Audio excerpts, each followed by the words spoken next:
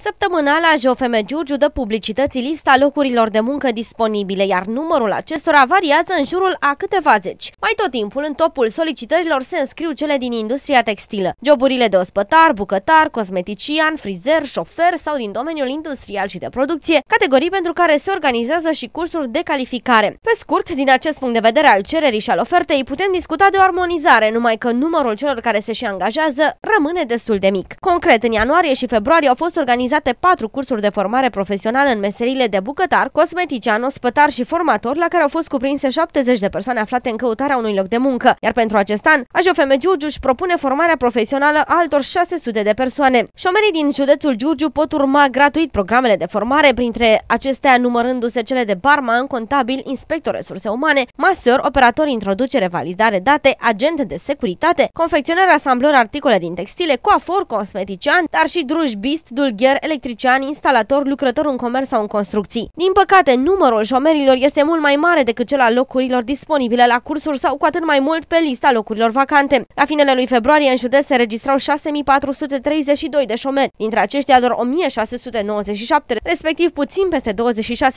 primesc indemnizație. În aceeași perioadă de referință însă doar 282 de persoane au fost încadrate în muncă, dintre acestea 125 fiind femei. Valoarea ratei șomajului se menține la Giurgiu de foarte mult timp în jurul acelorași procente, respectiv de 6,74% la finalul lui februarie.